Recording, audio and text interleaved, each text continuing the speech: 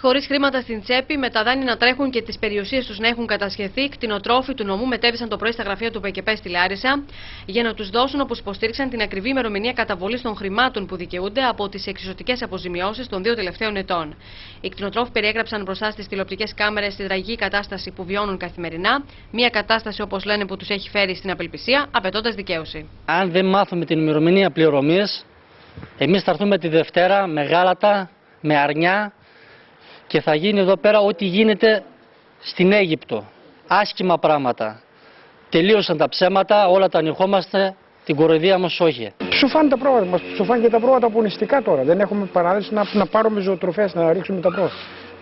Κάθε μέρα παραμέρα ψουφάει η προβατίνα πονιστική άνα μου. Δεν έχω άλλα λεφτά. Τι θα κάνετε τώρα, πώς θα τα βγάλετε; Δεν ξέρω χωρίς μου, τι να κάνω. Με ψουφάνε τα πρόβατα πονιστικά. Έχουν δύο χρόνια που με κοροϊδεύουν.